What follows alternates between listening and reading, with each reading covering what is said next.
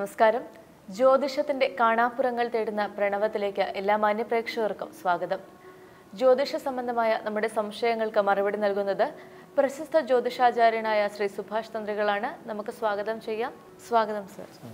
Sir നമ്മൾ ഇന്ന് വാസ്തുവിനെ കുറിച്ച് സംസാരിച്ചു തുടങ്ങുമ്പോൾ ഇപ്പോൾ പൊതുവെ എല്ലാവർക്കും പേടിയാണ്. ഒരു വീട് പണിയുമ്പോൾ എന്തെങ്കിലും തെറ്റുണ്ടോ? അങ്ങോട്ട് എന്തെങ്കിലും കയറിപ്പോയോ കുറഞ്ഞു പോയോ ഇത്തരം കാര്യങ്ങളെല്ലാം എല്ലാവരും ഭയങ്കര ടെൻഷൻ അടിച്ചാൽ എന്തോ നമുക്ക് ഈ ജ്യോതിഷത്തിലേക്കുള്ളൊക്കെ ഉള്ള വിശ്വാസങ്ങൾ കൂടുന്നതാണോ? അത് അന്ധവിശ്വാസങ്ങളാവുന്നതാണോ? എന്നൊക്കെയുള്ളൊരു ഒരു കാര്യം നിലനിൽക്കുമ്പോൾ തന്നെ ഇങ്ങനെ വീടിന്റെ കണക്ക് തെറ്റുമ്പോൾ പഞ്ചശിരസ് സ്ഥാപിക്കുക എന്ന് പറഞ്ഞിട്ടൊരു പുതിയ സമ്പ്രദായം. ഇത് പുതിയതാണോ എന്ന് എനിക്കറിയില്ല. പൊതുവെ ഈ അടുത്ത് കേട്ടു തുടങ്ങിയിരിക്കുന്നു. അപ്പോൾ അതെന്താണ്? അതിന്റെ ഒരു ആവശ്യകത എന്താണ്? അത് അങ്ങനെ ഒരു കാര്യം ചെയ്യുന്നത് കൊണ്ട് എന്ത് മെച്ചമാണ് നമുക്ക് ഉണ്ടാകുന്നത് അത്തരം കാര്യങ്ങളൊക്കെ ഒന്ന് സംസാരിക്കാം. ഈ പഞ്ചശിരസ് സ്ഥാപനം ഇതിനെക്കുറിച്ച് നമ്മൾ മുമ്പ് ഒരു എപ്പിസോഡിൽ വാസ്തു എപ്പിസോഡിൽ പറഞ്ഞിട്ടുണ്ട്. എന്നിരുന്നാലും ഒന്നുകൂടി വിശദമാക്കാം.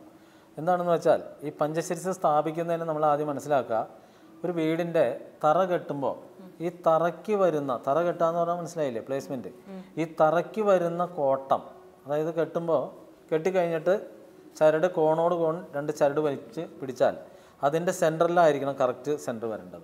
അതായത് കുറച്ച് അങ്ങോട്ടും ഇങ്ങോട്ടും മാറ്റം വന്നിട്ടുണ്ടെങ്കിൽ സെന്റർ മാറി. അതാണ് ഈ തറയുടെ കോട്ടം. ഇങ്ങനെ വരുന്ന കോട്ടം മാറ്റുന്നതിന് മാത്രമേ പഞ്ചശിരസ് സ്ഥാപിക്കുന്നത് കൊണ്ട് ഗുണമുണ്ടാവുകയുള്ളൂ. അതായത് ഈ തറയ്ക്ക് വരുന്ന കോട്ടം മാറുന്നതിന് മാത്രമേ പഞ്ചശരിസ് സ്ഥാപിച്ചാൽ ഗുണമുണ്ടാവുള്ളൂ. അപ്പോൾ നമ്മൾ ആദ്യം മനസ്സിലാക്കേണ്ട ഒരു കാര്യം ഈ പഞ്ചശരിസ് സ്ഥാപിക്കാൻ പറയുന്ന പല ആചാര്യന്മാരും. അപ്പം അതിന്റെ ഒരു ഉദാഹരണം ഞാനിവിടെ കൊല്ലത്തൊരു ജോലിസിന്റെ വീട് അളക്കാൻ പോയണ്ട ജോലിസിന്റെ വീടാണ് അളക്കാൻ പോകേണ്ടായിരുന്നു. അപ്പോൾ ആൾ പറഞ്ഞത് അവിടെ ഒത്തിരി പേര് അളക്കാൻ വന്നു. ആൾക്ക് വാസ്തു അറിയാൻ പാടില്ല. അതുകൊണ്ടാണ് പുള്ളി ജോലിസിനാണെങ്കിലും അളക്കേണ്ട ഇത്. അപ്പോൾ അളക്കാൻ ചെന്ന് കഴിഞ്ഞപ്പോൾ ആൾ പറഞ്ഞു ഇവിടെ ഒത്തിരി പേര് വന്നു. പുള്ളി മുമ്പ് എന്റെ അടുത്ത് പറഞ്ഞു ഒത്തിരി പേര് വന്നു. ഞാൻ പലരെയും പൈസ തിരിച്ചൊക്കെ വാങ്ങിച്ചു. അപ്പോൾ ഒരു വിദ്വാൻ പൈസ തിരിച്ചു കൊടുക്കാൻ സമയമായപ്പോൾ പറഞ്ഞു എനിക്ക് പിള്ളേരുണ്ട് ഞാൻ പിള്ളേരെ വിടും. അതായത് ഗുണ്ട പിള്ളേരുണ്ട് വിടും. അപ്പോൾ ഇദ്ദേഹം പറഞ്ഞു ഇയാൾ തിരിച്ചു വാങ്ങിക്കാൻ കഴിവുള്ള ആളാണല്ലോ. അപ്പോൾ ആൾ പറഞ്ഞു എനിക്ക് അതിനേക്കാളും കഴിവുള്ളതുകൊണ്ടാണ് ഞാൻ തന്റെ നിന്ന് പൈസ വാങ്ങുന്നത് അപ്പോൾ വിളച്ചിൽ എന്റെ അടുത്ത് വേണ്ടെന്ന് പറഞ്ഞു. എന്തായാലും പൈസ തിരിച്ചു കൊടുത്തു അദ്ദേഹം പറയുന്നു. അപ്പോൾ ഞാനവിടെ ചെന്ന് കഴിഞ്ഞപ്പോൾ ഇത് എന്റെ അടുത്ത് മുമ്പ് ഇങ്ങനെ പറഞ്ഞു ഞാനിങ്ങനെ പലരും വന്ന് ഇവിടുന്ന് പൈസ കൊണ്ടുപോയിട്ട് തിരിച്ചൊക്കെ വാങ്ങിച്ചിട്ടുണ്ടെന്ന് പറഞ്ഞു. അപ്പോൾ ഒരു ഭീഷണി പോലെ നമ്മൾ മൈൻഡ് ചെയ്യാൻ പോയില്ല. അപ്പോൾ ചെന്ന് കഴിഞ്ഞപ്പോൾ ഞാൻ ആളോട് ചോദിച്ചു ഒന്ന വിദ്വാൻമാരൊക്കെ എന്തൊക്കെ ചെയ്തതെന്ന് വെച്ചാൽ ആദ്യം? അപ്പോൾ ആൾ പറഞ്ഞു ഒരാ വിദ്വാൻ വന്നിട്ട് കിണർ സ്ഥാനത്തല്ല എന്ന് പറഞ്ഞാൽ കിണർ അങ്ങ് മൂടിച്ചു. മൂടാൻ പറഞ്ഞാൽ അയാൾ മൂടി. കാരണം ഇഷ്ടംപോലെ പൈസ ഉണ്ടായിരുന്നു. ഇയാൾ ഗൾഫിലൊക്കെ പോയതാണ്. കിണർ മൂടി. ഇപ്പോൾ ഒരു കിണർ കുത്തിയിട്ടുണ്ട്. അത് കറക്റ്റ് കോടിയിലാണ്.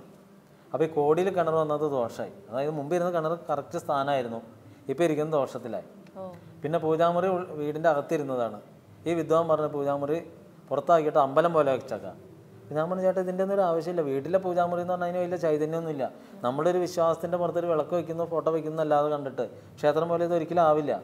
അപ്പോൾ ആൾ പറഞ്ഞു എന്റെ ഒരു വിശ്വാസമാണ്. അവിടെ ഇരിക്കട്ടെ എന്ന് പറഞ്ഞു. എന്നാൽ ആയിക്കോട്ടെ. പിന്നെ അടുത്തൊരു വിദ്വാൻ വന്നിട്ട് അപ്പോൾ ഞങ്ങൾ റൂമെല്ലാം അളന്നു. അടുക്കള അളന്നു. അടുക്കള എല്ലാം തെറ്റാണ്. അതായത് കറപ്ഷൻ ചെയ്തിട്ടുണ്ട്. പക്ഷേ അതൊന്നും കണക്കിലേക്ക് ആയില്ല. വലിയൊരു അടുക്കളയാണ്. അത് കെട്ടിത്തിരിച്ചൊന്നും കെട്ടായില്ല. അതൊക്കെ കണക്ക് മാറിപ്പോയി. അപ്പോൾ അവർ പറഞ്ഞു അങ്ങനെയാണെങ്കിൽ അവർക്ക് വടക്കിഴക്ക് ഭാഗത്ത് വേറെ സ്ഥലമുണ്ട്. വരാന്ത പോലെ. അവിടെ അടുക്കള സ്ഥാനം കൊടുക്കാൻ പറഞ്ഞു. നമ്മൾ അവിടെ അടുക്കളയ്ക്ക് കൊടുത്ത്. കറക്റ്റ് സ്ഥാനമാണ്. വടക്കിഴക്കായിരിക്കണം അടുക്കള. അവിടെ മാത്രമേ അടുക്കള നമ്മൾ നിഷ്കർഷിക്കുന്നുള്ളൂ. അപ്പോൾ ഇദ്ദേഹം നമ്മുടെ പ്രോഗ്രാമിൽ ഇതെല്ലാം കേൾക്കുകയും ചെയ്തു. അപ്പോൾ എന്ത് വരുന്നത് വെച്ചാൽ കറക്റ്റ് വടക്കിഴക്കാണ് ഈ പൂജാമുറി കൊണ്ടുവന്ന് വെച്ചിരിക്കുന്നത്. അപ്പോൾ അതിന്റെ തൊട്ട് പിന്നിലാണ് ഈ അടുക്കള വെക്കാൻ പറ്റുള്ളൂ. അതാണ് ഞാൻ ആളോട് പറഞ്ഞത് പൂജാമുറി മാറ്റാൻ നമുക്ക് അടുക്കള അവിടെ വയ്ക്കാം അപ്പോൾ പറഞ്ഞു വേണ്ട എനിക്ക് അവിടെ ഇരിക്കട്ടെ എന്ന്. അപ്പോൾ രണ്ടാം സ്ഥാനത്തുള്ള കുമ്പൻ രാശിയിലേക്ക് നമ്മൾ അടുക്കള സ്ഥാനം കാണിച്ചു കൊടുത്തു. ചെയ്തോളാം പറഞ്ഞു. അത് കഴിഞ്ഞിട്ട് ചോദിച്ചു വന്നവരൊക്കെ ചോ അപ്പോഴാണ് പറഞ്ഞു ഒരു വിദ്വാൻ വന്നിട്ട് ഗോണി ഞങ്ങൾ മുകളിലേക്ക് രണ്ട് നില വീടുന്നു ഗോണിയിലേക്ക് കയറിപ്പോയപ്പോൾ ഭയങ്കര പൊക്കത്തിലാണ് ഗോണി വെച്ചാണ് അപ്പോൾ ഞാൻ ചോദിച്ചു നിങ്ങൾ വയസ്സായി കഴിഞ്ഞാൽ ഇതൊക്കെ എങ്ങനെ കയറുമെന്ന് ചോദിച്ചു. അപ്പോഴേ പറഞ്ഞു ഒരു വിദ്വാൻ വന്നിട്ട് ഈ ഗോണിയുടെ അളവ് തെറ്റാണ്. അതുകൊണ്ട് ഗോണി മാറ്റി സ്ഥാപിക്കാൻ പറഞ്ഞു. അങ്ങനെ മര്യാദയ്ക്ക് ഇരുന്ന ഗോണി പൊളിച്ചിട്ട് രണ്ടാമത് ഉണ്ടാക്കിയതാണ്. മൊത്തത്തിൽ രണ്ട് വീട് പണിയാണ് പൈസ ചിലവാക്കി കഴിഞ്ഞു. പിന്നെ മുകളിലൊക്കെ ചെന്ന് റൂം എല്ലാം അളന്നപ്പോൾ എല്ലാം തെറ്റാണ്. അപ്പോൾ ഞാൻ ചോദിച്ചു ഇതൊക്കെ എന്താ ചെയ്യാൻ അപ്പോൾ വന്നവരൊന്നും ഇതൊന്നും നോക്കിയിട്ടില്ല. ഇവരിങ്ങനെയൊക്കെ ഒന്ന് നോക്കിയിട്ട് പറയും എല്ലാം ശരിയാണ്. സംഗതി വേറെ കുഴപ്പമില്ല. ആ ഗോണി മാറ്റുക. അപ്പോൾ ഇയാൾക്ക് പറ്റിയെന്നു വെച്ചാൽ അവിടെ രണ്ട് മൂന്ന് പശുക്കൾ ചത്തു. പിന്നെ ആടുകൾ ചത്തു. അങ്ങനെയുള്ള സംഭവമാണ്. അതായത് കാർഷികം ചെയ്യുന്നുണ്ട് എല്ലാം നാശം മാത്രമാണ്. ഗുണമൊന്നും വരുന്നില്ല. അപ്പോൾ ഞാൻ ഇദ്ദേഹത്തോട് പറഞ്ഞു ശരിക്കും രാശി വെച്ച് നോക്കി അതിന്റെ ബാധാദോഷം ആദ്യം മാറ്റണം. എന്നിട്ട് വേണം രണ്ടാം ഘട്ടമാണ് ഈ വീടിന്റെലേക്ക് വരാം. അപ്പോൾ ആൾ രാശിയൊക്കെ വെച്ച് നോക്കി പക്ഷേ ബാധാദോഷം തീർക്കാനൊന്നും ആൾ വന്നില്ല. കാരണം ആൾക്ക് പൂജയും കാര്യമൊക്കെ അറിയാവുന്ന ആളാണ് അപ്പോൾ പുള്ളി ചെയ്തോളാം എന്ന് പറഞ്ഞു. ഞാൻ ശരിയെന്ന് പറഞ്ഞു. അപ്പോൾ ഇത് കഴിഞ്ഞിട്ട് വാസ്തു നമ്മൾ കറക്റ്റ് ചെയ്ത് കൊടുത്തു. അവിടെ കെട്ടിത്തിരിക്കുന്നിടത്ത് കെട്ടിത്തിരിക്കാൻ പറഞ്ഞു. അളവുകൾ കറപ്ഷനുള്ള എല്ലാം എഴുതി കൊടുത്തു. ഇപ്പോൾ ഫ്രണ്ട് ഡോർ മാറ്റാനുണ്ട്. അത് അതെല്ലാം തയ്യാറാണ് പുള്ളി മാറ്റാനായിട്ട്. അപ്പോൾ എല്ലാ റൂമും തെറ്റായിരുന്നു. അപ്പോൾ ഈ തെറ്റായിരുന്നപ്പോൾ പുള്ളി എന്റെ അടുത്ത് പറഞ്ഞത് മുമ്പ് വന്നൊരു വിധം കിണർ മോടിച്ചൊരു വിധം ചെയ്തൊരു കാര്യം. ആൾ പറഞ്ഞു വാസ്തു എല്ലാം കറക്റ്റ് ചെയ്തിട്ടുണ്ട്. ഇനി നിങ്ങൾ ജോത്സ്യനെ കാണണം. ജോത്സ്യനെ കണ്ട ബാക്കി ജോൽസൻ ശരിയാക്കി തരും. അപ്പോൾ ജോത്സ്യനെ കണ്ടു. ജോത്സ്യനെ പുള്ളി നിർദ്ദേശിച്ചു. പുള്ളിയുടെ കൂട്ടമ്പിന് ജോത്സ്യനെ തന്നെ നിർദ്ദേശിച്ചു. ജോത്സ്യനെ പോയി കണ്ടു. കണ്ടു കഴിഞ്ഞപ്പോൾ ജോത്സ്യൻ ചെന്ന് കഴിഞ്ഞപ്പോൾ തന്നെ പറഞ്ഞു നിങ്ങളുടെ വീടിന്റെ വാസ്തു കണക്ക് തെറ്റിക്കിടക്കുകയാണ് അതുകൊണ്ട് പഞ്ചശരസ് സ്ഥാപിക്കണം. പഞ്ചശരസ് സ്ഥാപിക്കണം. അപ്പോൾ എത്ര എങ്ങനെയാണെന്ന് ചോദിച്ചു പറഞ്ഞു ഒരു ഒൻപത് പഞ്ചശരസ് സ്ഥാപിക്കണം. അപ്പോഴേ ശരിയാവുള്ളൂ. അപ്പോൾ ഒരു പഞ്ചശരസിന് അയ്യായിരം രൂപയാണ്. അപ്പോൾ ഒൻപത് ഇന്റു അഞ്ച് നാൽപ്പത്തയ്യായിരം രൂപ സംഗതി. അപ്പോൾ ഇയാൾ പറഞ്ഞു എന്റെ അടുത്ത് പറഞ്ഞൊരു കാര്യം അവിടെ പറഞ്ഞത് എനിക്ക് അറിഞ്ഞൂടാ. ഭാര്യ കൂടെ ഉണ്ടായിരുന്നുകൊണ്ടാണ് അല്ലെങ്കിൽ അയാൾ അവിടെ ഇട്ട് അടിച്ചു തന്നെയെന്ന് പറഞ്ഞു. എന്താ കാരണം എന്ന് വെച്ചാൽ വീടിനാകെ ആകെ ഏഴ് മുറികളുള്ളൂ. പഞ്ചശരിസം ഒൻപതെണ്ണം സ്ഥാപിക്കണം. ആകെ വീട്ടിൽ ഏഴ് റൂമേ ഉള്ളൂ. പക്ഷെ ഒൻപത് പഞ്ചശരിസാണ് ഇങ്ങനെ വിധിച്ച. അപ്പോൾ ഇതാണ് ഇതിന്റെ ഏറ്റവും വലിയ തട്ടിപ്പ്. അപ്പം നിങ്ങൾ ആദ്യം മനസ്സിലാക്കേണ്ടത് ഈ തറ കെട്ടിയ കോട്ടം തീർക്കാൻ മാത്രമേ പഞ്ചശിരസ് എന്നുള്ള സംഭവം കൊണ്ട് ഗുണമുണ്ടാവുകയുള്ളൂ പഞ്ചശിരസ് സ്ഥാപിക്കണമെങ്കിൽ നമ്മൾ വീട്ടിലേക്ക് കയറുമ്പോൾ നമ്മൾ കയറുമ്പോൾ നമ്മുടെ ഇടത്തെ സൈഡ് ഇറങ്ങുമ്പോൾ വലത്തെ സൈഡ് എഴുപത്തിരണ്ട് സെന്റിമീറ്റർ പൊക്കത്തിൽ വേണം പഞ്ചശിരസ് എന്ന സ്ഥാനം സ്ഥാപിക്കാൻ. പഞ്ചശിരസ് ശരിക്ക് പഞ്ചലോഹത്തിലായിരിക്കണം നിർമ്മിക്കേണ്ടത്. അല്ലാതെ കണ്ണി കണ്ട പാട്ടത്തകിടൊന്നും അല്ല കൊണ്ട് വെക്കണ്ടേ ഇത് പ്ലാവിന്റെ ഒരു ബോക്സ് ഉണ്ടാക്കിയിട്ട് ആ പഞ്ചശിരസ് ഈ പഞ്ചലോഹത്തിൽ ചന്ദനമെല്ലാം അരച്ച് പെരട്ടി ഉണങ്ങിയതിന് ശേഷമൊക്കെ വേണം. അങ്ങനെയാണ് ഇതിലേക്ക് വരാൻ പറ്റുള്ളൂ. അല്ലാതെ വെറുതെ കടകളിൽ പഞ്ചശിരസ് കിട്ടും. ഏതെങ്കിലും ഒരു ആചാര്യൻ ഒരു പടത്തകിട് തന്നു. ഇത് കൊണ്ടുപോയി വീട്ടിൽ അവിടെ ഇവിടെയൊക്കെ തുളച്ചു വെച്ചാലൊന്നും നിങ്ങൾ ഉദ്ദേശിക്കുന്ന ഒരു ഗുണം ഉണ്ടാവില്ല. ആദ്യം മനസ്സിലാക്കേണ്ടത് വാസ്തു കണക്ക് തെറ്റിക്കഴിഞ്ഞാൽ അളവാണ്. വാസ്തു എന്നാൽ അളവാണ്. നമ്മൾ പല എപ്പിസോഡിലും പറഞ്ഞിട്ടുണ്ട്. ഈ അളവ് ശരിയാക്കാമെന്നല്ലാതെ കണ്ട് ഇമാതിരിയുള്ള പഞ്ചശരിസോ വാസ്തുപുരുഷ യന്ത്രമോ ഒന്നും സ്ഥാപിച്ചാലൊന്നും ഈ അളവ് ഒരിക്കലും റിവേഴ്സ് ആവില്ല. അതായത് നമ്മളുടെ ഡ്രസ്സ് കണക്ക് തെറ്റിയാ കിടക്കുന്നത്. അതിന് ഞാനൊരു പൂജ ചെയ്താൽ ഇത് ശരിയാക്കാൻ പറ്റുമോ പറ്റില്ല. അതിന് നമ്മൾ എന്ത് ചെയ്യണം? അളവ് അളവെടുത്ത് തയ്യൽക്കാരന്റെ അടുത്ത് കൊടുത്ത് കുറയ്ക്കണം. അല്ലെങ്കിൽ കൂട്ടണം. ഇതാണ് വാസ്തു. അല്ലാതെ ഈ കണ്ണി കണ്ട സാധനങ്ങൾ ഓരോരുത്തർ ഇരുന്നിട്ട് അത് ചെയ്ത് ഇത് ചെയ്യുന്നു പറയുമ്പോൾ ഇതൊക്കെ ചെയ്താൽ വൃതാ നമ്മുടെ പൈസ പോകുള്ളൂ ഇതേപോലെ തന്നെ ഡൽഹിയിൽ നിന്ന് ഒരു പാർട്ടി പൂജിക്കുന്നപ്പോൾ അവരും പറഞ്ഞൊരു കഥ എഴുതാണ് ഈ വിദ്വാൻ അവിടെ ഇടയ്ക്ക് പോകാറുണ്ട് ഡൽഹിയിലെല്ലാം. മലയാളി സമാജക്കാർ ഇദ്ദേഹത്തെ കൊണ്ടുപോകും. അവിടെ ചെന്ന് കഴിയുമ്പോൾ എല്ലാ വീട്ടിലും പഞ്ചശരിസ് സ്ഥാപിക്കലാണ്. അപ്പോൾ എന്താന്ന് വെച്ചാൽ ഒരു വീട്ടിലേക്ക് ഒൻപതാണ്. പുള്ളിയുടെ കണക്ക് ഒൻപത് പഞ്ചശരിസാണ് അപ്പോൾ ഒൻപത് പഞ്ചശരിസ് സ്ഥാപിച്ച് കഴിഞ്ഞാൽ അമ്പതിനായിരം രൂപ കിട്ടും. ഈ സാധനത്തിന് മുപ്പത് നാൽപ്പത് രൂപ വിലയുള്ളൂ. ഏറ്റവും വിചിത്രം അതാണ് പഞ്ചശിരസ് എന്ന് പറയുന്ന അഞ്ച് തല ഇതിൽ ആകിരണം ചെയ്തിട്ടുണ്ട് ഓരോ ജീവിയുടെ കണക്കാക്കി. അതാണ് പഞ്ചശിരസ്. ഇത് പഞ്ചലോഹത്തിൽ വരണം. അതായത് പഞ്ചലോഹത്തിന്റെ കണ്ടന്റ് തന്നെ നമ്മളിത് പൂർണമായിട്ട് ഇവിടെ പറയുന്നില്ല. അര ഗ്രാം ഈയമാണ് അതിന്റെ ഒരു കണക്ക് തുടങ്ങുന്നത്. അതിൽ ഒരു ഗ്രാം ഇരുമ്പാണ് അടുത്ത. അതായത് പഞ്ചലോഹം എന്ന് പറഞ്ഞാൽ അഞ്ച്. അതിൽ ഒരു ഗ്രാം ഇരുമ്പ് അര ഗ്രാം ഈയം ആ- ഈ അര ഗ്രാം ഇരുമ്പിനും അര ഗ്രാം ഈയത്തിനും ഒരു ഗ്രാം ഇരുമ്പിനും വരുന്ന അവസാന കണ്ടന്റ് സ്വർണം പന്ത്രണ്ട് ഗ്രാം വരണം. അതായത് അര ഗ്രാം ഈയവും ഒരു ഗ്രാം ഇരുമ്പും ചേർക്കുന്ന ഈ കണ്ടന്റ് പൂർണമാവണമെങ്കിൽ അതിന്റെ പൂർണത പന്ത്രണ്ട് ഗ്രാം സ്വർണം വരണം. അങ്ങനെയാണ് പഞ്ചലോഹം അടിക്കാൻ പറ്റുള്ളൂ. അല്ലാതെ പഞ്ചലോഹം എന്ന് പറയുന്നത് ഇപ്പോൾ പാട്ടത്തകിട് പലരും പഞ്ചലോഹം എന്നൊക്കെ പറഞ്ഞ് കൊടുക്കുന്നുണ്ട്. അപ്പോൾ നമ്മളെപ്പോഴും മനസ്സിലാക്കുക ഒറിജിനൽ പഞ്ചലോഹത്തിന് വിലയുണ്ട്. അതിലേക്ക് വരണം. അപ്പോൾ ഈ ഒറിജിനൽ പഞ്ചലോഹത്തിൽ പഞ്ചശിരസ് അടിച്ചിട്ട് അത് ഞാൻ ഈ പറഞ്ഞ പോലെ പ്ലാവിന്റെ ബോക്സ് ഒക്കെ ഉണ്ടാക്കിയിട്ടൊക്കെ വേണം. അതിൽ ചന്ദനം അരച്ച് മഷി വരട്ടിയിട്ട് എഴുപത്തിരണ്ട് സെന്റിമീറ്റർ പൊക്കത്തിലൊക്കെ വേണം. അങ്ങനെ ഒരു കണക്കുണ്ട്. അല്ലാതെ വെറുതെ ഒരാളൊരു സാധനം തന്നു വാതിൽപ്പടിയുടെ അടിയിൽ കൊണ്ട വെച്ചു. അപ്പോൾ ഇവർക്കൊക്കെ പറ്റുന്നത് ഈ പഞ്ചശരിസ് കൊടുക്കുന്നവന് പഞ്ചശരിസിന്റെ ഉപയോഗം പോലും അറിഞ്ഞൂടാ. അതായത് യഥാർത്ഥ ആചാര്യനാണ് ഇങ്ങനെ ചീറ്റയില്ല. ഈ ആചാര്യന്മാർ യഥാർത്ഥമാണോ അല്ലെന്ന് അറിയണമെങ്കിൽ നമ്മൾ പോയി പരീക്ഷിച്ച് തന്നെ അറിയാൻ പറ്റുള്ളൂ. അല്ലാതെ കണ്ടിട്ട് ഇവിടെ സംഗതി അവിടെ കണ്ടു ഇവിടെ കണ്ടു എന്ന് പറഞ്ഞാൽ ചെന്ന് പറ്റിക്കലിൽ പെട്ടിട്ട് അവിടെ പോയി പറ്റിച്ച് ഇവിടെ പോയി പറ്റിച്ചെന്ന് പറഞ്ഞിട്ടൊരു കാര്യമില്ല. നമ്മൾ ചാടി പുറപ്പെടുന്നതിന് മുമ്പ് ഇതൊക്കെ ആലോചിക്കണം. അപ്പോൾ ജനത്തിന് പറ്റുന്നതെന്ന് വെച്ചാൽ ഈ പഞ്ചശിരസ് എന്ന് പറഞ്ഞാൽ പഞ്ചശിരസ് എന്നേ കേൾക്കുന്നുള്ളൂ.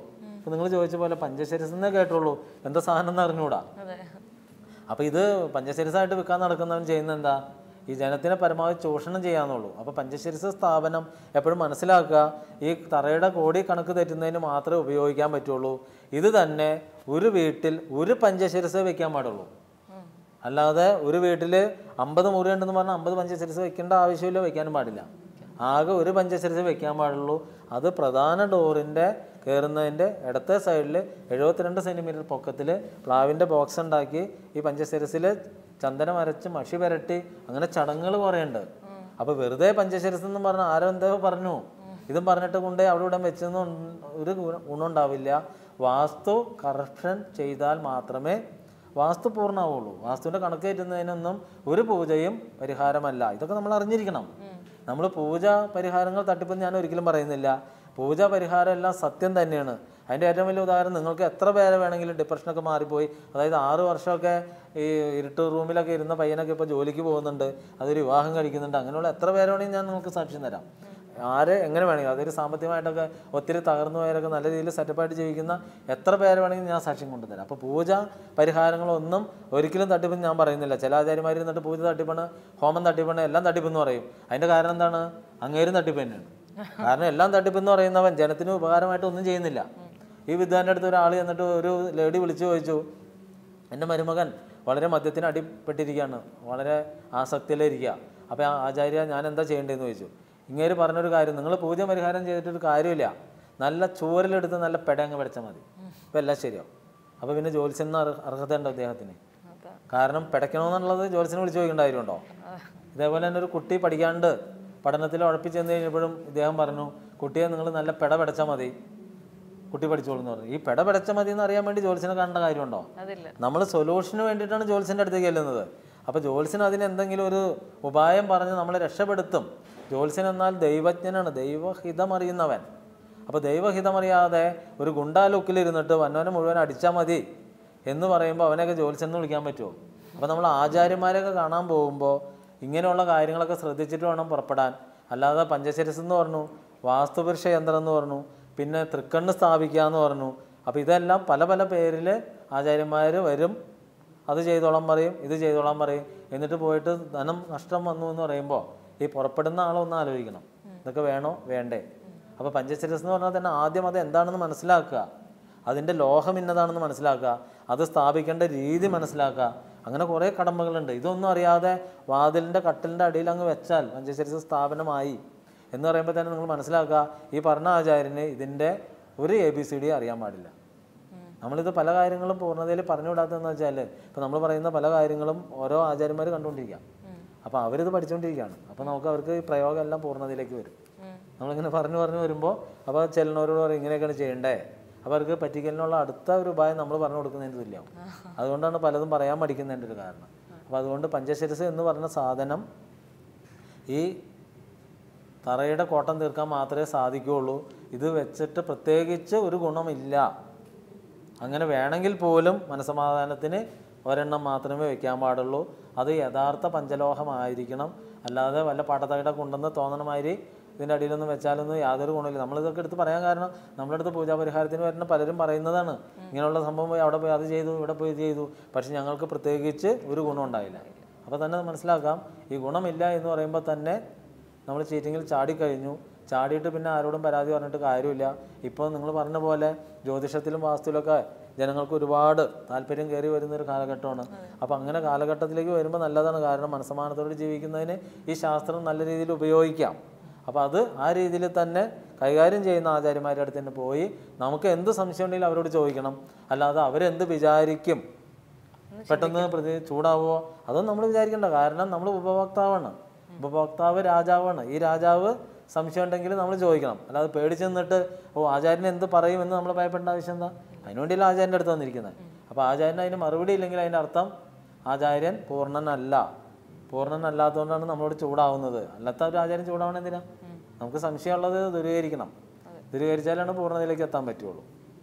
അപ്പോൾ ഇങ്ങനെയുള്ള കാര്യങ്ങളെല്ലാം ശ്രദ്ധിച്ചതിന് ശേഷം മാത്രമേ ഈ പറഞ്ഞ കാര്യത്തിലേക്ക് വരാൻ പാടുള്ളൂ. പിന്നെ നമ്മൾ മുമ്പ് പറഞ്ഞിട്ടുണ്ട് ഒരു ഗ്രഹം ഒക്കെ പണിയാൻ പോകുമ്പോൾ ആദ്യം ഭൂമി അതിന് അനുയോജ്യമാണോ എന്ന് നോക്കണം. ഇപ്പം എന്റെ അടുത്തൊക്കെ വന്നാൽ അനുയോജ്യം ചോദിക്കാൻ നമ്മൾ ചോദിക്കുന്ന കാര്യം ഇത്രേ ഉള്ളൂ. ഭൂമിയുടെ ചരിവ് എങ്ങോട്ടാണ്? അത് തെക്കോട്ടാണോ ചരിവ് വടക്കോട്ടാണോ ചരിവ് കിഴക്കോട്ടാണോ പടിഞ്ഞാട്ടാണോ? അങ്ങനെ വടക്കോട്ടോ അല്ലെങ്കിൽ കിഴക്കോട്ടോ ചരിഞ്ഞ ഭൂമി എന്ന് മാത്രമേ നമ്മൾ നിഷ്കർഷിക്കാറുള്ളൂ. അല്ലാതെ അവിടെ പ്രേതമുണ്ട് അവിടെ സർപ്പമുണ്ട് അതുകൊണ്ട് വേണ്ടാന്ന് ഒരിക്കലും പറയാറില്ല. അപ്പോൾ ഭൂമിയുടെ കിടപ്പ് നോക്കാൻ പറയും. ബാക്കി എന്ത് വാദഭൂതണിയും നമുക്ക് ആ വായിച്ച് മാറ്റാവുന്നതാണ്. സമയപരിമിതി മൂലം ഇന്നത്തെ പ്രണവം ഇവിടെ പൂർണമാവുകയാണ്. മറ്റൊരു പുതിയ വിഷയവുമായി വീണ്ടും കണ്ടുമുട്ടാം. നന്ദി നമസ്കാരം.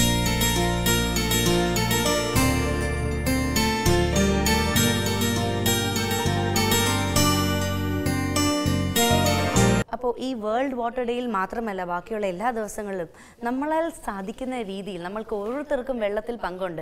ടാപ്പ് തുറന്നിട്ട് പല്ലിക്കുന്ന ആൾക്കാർ മുതൽ അതെ അതെ ടാപ്പ് ടാപ്പ് തുറ- തുറന്നിട്ട് പല്ലിക്കുന്ന ആൾക്കാർ മുതൽ എന്താണ് കയ്യിൽ കയ്യാൽ തുണി കഴുകുന്ന ആൾക്കാർ ഇപ്പോൾ ഒരു തുണി മാത്രം കഴുകുന്നെങ്കിൽ കുറച്ച് തുണി കൂട്ടി വെച്ച് തുണികൾ ഒരുമിച്ച് വെച്ച് കഴുകുക. ഇങ്ങനത്തെ ചെറിയ നമ്മളെ കൊണ്ടാകുന്ന ചെറിയ ചെറിയ കാര്യങ്ങൾ ചെയ്ത് നമ്മളെ കൊണ്ട് പറ്റുന്ന രീതിയിൽ മഴവെള്ളം സംരക്ഷിക്കുക അതുപോലെ ശുദ്ധജലം സംരക്ഷിക്കുക അങ്ങനെ നല്ലൊരു നാളെ ഉണ്ടാകട്ടെ. വരൾച്ചയില്ലാത്ത നമുക്ക് ഇന്നത്തെ ഇന്ന് ഇന്നേ നമുക്ക് അതിനോടുള്ള ബേബി സ്റ്റെപ്സ് എടുത്തു തുടങ്ങാം. എടുത്തു തുടങ്ങാം. അങ്ങനെ ഞങ്ങൾ ആശംസിച്ചുകൊണ്ട് ഇന്നത്തെ എപ്പിസോഡ് വൈൻഡപ്പ് ചെയ്യുകയാണ്. എല്ലാവർക്കും നന്ദി. നമസ്കാരം.